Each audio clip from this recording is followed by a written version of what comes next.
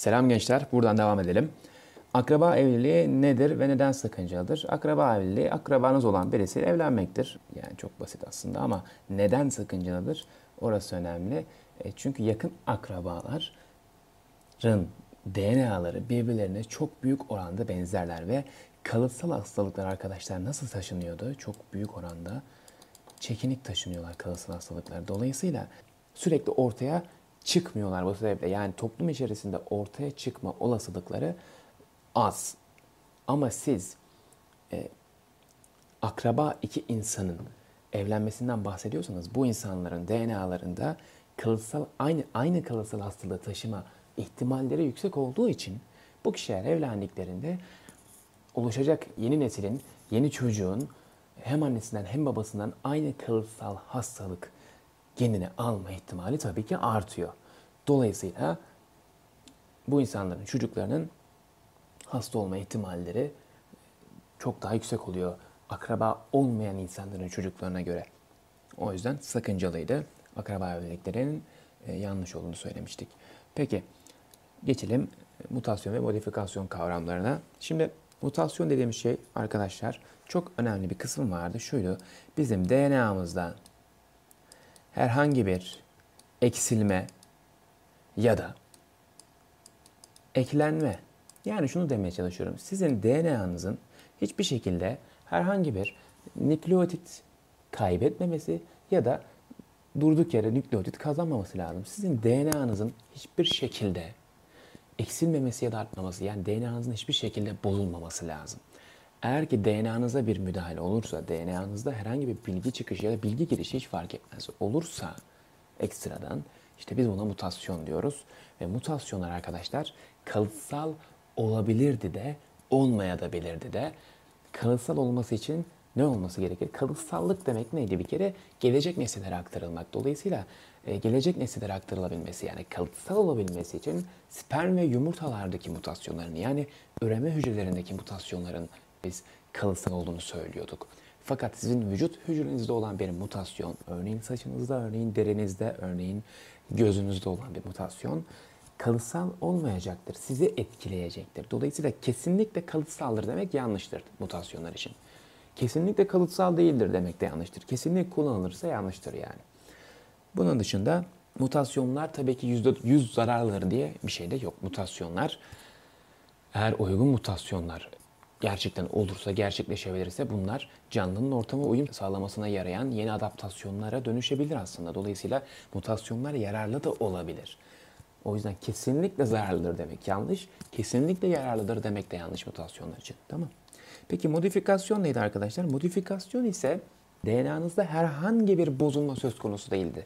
Sadece genlerinizin, DNA'larınızın görev birimi olan genlerinizin işleyişi değişiyordu. Herhangi bir dış etken, örneğin sıcaklık, örneğin ısı, örneğin bitkilerde bazı bitkilerde toprağın pH'i ya da beslenme gibi bazı unsurlar neticesinde sizin genlerinizin zaten sizde var olan genlerin işleyişi değişiyordu. Mesela dişi arıların, yavru dişi arıların arı sütüyle besleneni kraliçe arı olurken arı sütüyle değil de polenle besleneni işçi arı oluyordu. E, burada beslenme söz konusu ve bu bir modifikasyon. Eğer ki polenle beslenenlerden birisi polenle değil de arı sütüyle beslenseydi o kraliçe arı olacaktı. Dolayısıyla modifikasyonların kalıtsal olmadığını söyleyeceğiz. Yani herhangi bir modifikasyon gelecek nesillere aktarılmaz. Mesela bir modifikasyon örneği daha verelim. Güneşin altına çok kalırsak derimizde bir pigment salgılanması artacağı için bizim rengimiz daha da koyulaşır.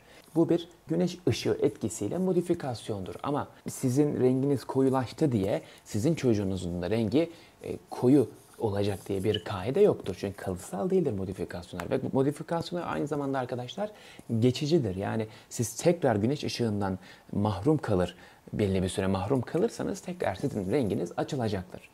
Dolayısıyla modifikasyonlar böyleydi. Ama mutasyonlara dönersek mutasyonlar hiçbir şekilde geçici değildi. Kalıcıydı.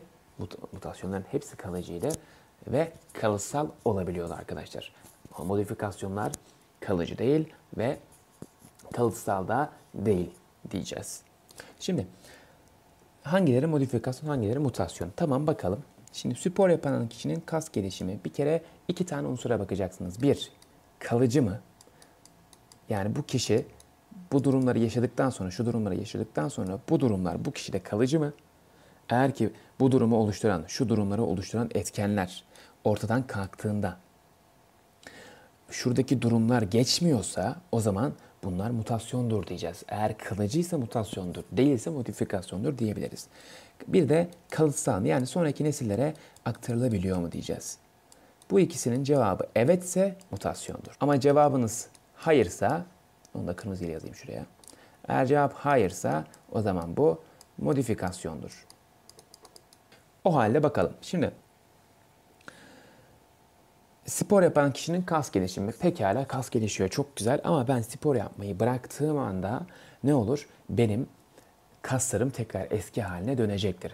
Kaslarım eriyecektir. Dolayısıyla bir kere kalıcı değil. Ha, kalıcı değilse modifikasyon olabilir. Bir de kalıtsal mı diye bakalım. Yani ben spor yaptım diye benim çocuğum da kaslı doğacak diye bir kaide yok. Değil mi? Spor yaparsa benim çocuğum o zaman o da e, kaslı olur ama yapmazsa olmaz. Dolayısıyla kalıtsal da değil. İkisine de hayır cevabı verdiğim için bu modifikasyondur. Şöyle mod yazalım, modifikasyon olduğu anlaşılsın. Altı parmaklılık dediğimiz şey kalıcı mı? Bir kişide evet kalıcı. Kimse bir zaman sonra beş parmaklılar dönüşmüyor tekrar. Peki bu kalıtsal mı? Evet yani insanlar doğuştan altı parmaklı doğuyorlar. Demek ki bu anne ve babalarından gelen bir şey. İşte akraba evliliği olan evliliklerde altı parmaklılık gibi mutasyonlar ortaya çok çıkıyor. Dolayısıyla buna da mutasyon diyeceğiz. Şöyle buna da mut yazalım. Dört boynuzlu keçi kalıcı mı? Evet zamanla üç boynuzlu iki boynuza düş, dönüşmüyor. Peki bu e, keçilerin DNA'larına bu bilgi doğuştan anne ve babasından geliyor. Dolayısıyla bu da mutasyondur arkadaşlar. Peki albinoluk, albinoluk neydi? Derideki pigmentlerin, vücudumuzdaki renk pigmentlerinin salgılanamamasıydı. Bununla alakalı renk pigmentlerinin sağlanmasını sağlayan gen DNA'mızda yok. Dolayısıyla bende var, başkasında yoksa bu DNA'larında bir müdahale olduğunu gösterir. Dolayısıyla DNA'ya müdahale varsa mutasyondu. Peki kalıcı mıydı? Tabii ki kalıcı. Kimse bir zaman sonra renk pigmenti salgılayıp tekrar eski haline dönmüyor. Albino doğan bir kişi albino olmaya devam ediyor. Albinoluk sadece insanlarda değil hayvanlarda da vardı. Balinada bile vardı mesela. Bunları derste görmüştük. E, kalıtsal mı? Tabii ki. Yani bir kişi 20 yaşına kadar normal 21 yaşında albino olmuyor. Bu doğuştan gelen bir şey. Demek ki sonraki nesillere aktarılabiliyor. Dolayısıyla bu da mutasyondur arkadaşlar. Peki bronzlaşmak, biraz önce bunun örneğini verdik. Ben güneş altında durmaktan vazgeçersem ne olur? Rengim daha da açılacaktır. Yani kalıcı değildir, kalıtsal değildir. Ben güneş altında durduğum için benim çocuğum da esmer ya da işte daha koyu renk doğacak diye bir kayda yok. Dolayısıyla buna modifikasyon diyeceğiz. Çuha çiçeği farklı sıcaklıklarda farklı renkte çiçek açıyormuş. Bu ne demek? Sizin genlerinizde yani çuha çiçeğinin DNA'sında farklı renklerde olma genleri mevcut. Eğer çuha çiçeği düşük sıcaklıklardaysa kırmızı renk oluyor. Yüksek sıcaklıklarda ise yetişirse daha doğrusu beyaz renk açıyor. Beyaz renkli çiçeklere sahip oluyor. Bir kere kalıtsal mı bu? Buna bakalım. Yani mesela beyaz bir çuha çiçeği var ve bunun oluşturduğu yeni nesil çuha çiçeklerinin hepsi beyaz olmuyor arkadaşlar. Hepsi beyaz olsaydı kalıtsal derdik, aktarılıyor derdik. Eğer siz iki tane çuha çiçeğini alırsanız ebeveyni de bu beyaz çuha çiçeği olsun mesela bunların.